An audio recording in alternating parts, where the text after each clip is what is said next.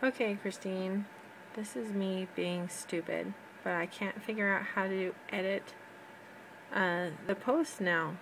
So we've got, this is the one that's scheduled, and this all looks different than it used to. Something happened to Blogger this month.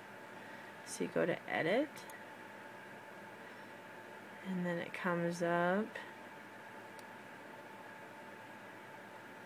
It's thinking.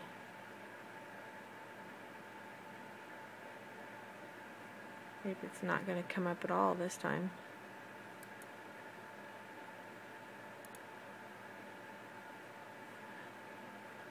Alright, let's try it again. Go back to here, hit edit.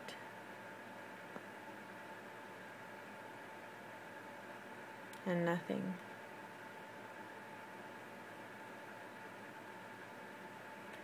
So before it would come up like it was a new post. It'd have a box here that was blank and it'd say authors incognito posts but I couldn't see anything on there so if you have any ideas of what I need to do to make this work so I can start putting it in again that would be great. In the meantime I'm going to just email you the stuff I would have put in had I been able to see anything. I'm sorry for the extra work and that it's going to be late this morning. So I hope you have a good day, Christine. Bye.